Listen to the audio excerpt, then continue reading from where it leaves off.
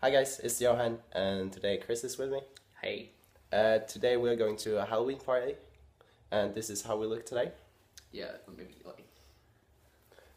So Chris have like a lens and some blood. Yeah, and it hurts. Yeah, It's a bad lens. and I'm supposed to be Tate from American Horror Story, but it's not. I think it's pretty good. It's decent. So yeah. Happy Halloween. Happy Halloween.